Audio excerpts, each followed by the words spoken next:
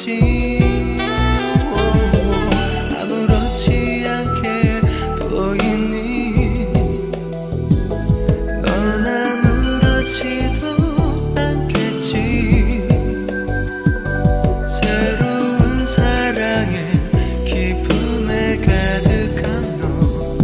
부디에 행복하게 살길 기도.